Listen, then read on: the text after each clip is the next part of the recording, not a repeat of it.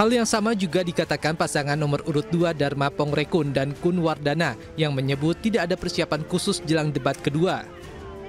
Enggak, saya nggak persiapan. Ini ini tadi persi bagian daripada persiapan. Persiapan itu bukan seperti belajar ujian, ngapalin, praktek. Mulai latihan praktek untuk bisa kita lihat apakah program ini uh, bisa diimplementasikan atau hanya sekedar konsep di atas kepala, di atas kertas, tapi menjadi pepesan kosong ketika itu. Debat kedua Pilkada Jakarta akan digelar Minggu 27 Oktober 2024. Tema yang akan diangkat adalah ekonomi dan kesejahteraan sosial. Dari Jakarta, tim liputan iNews melaporkan.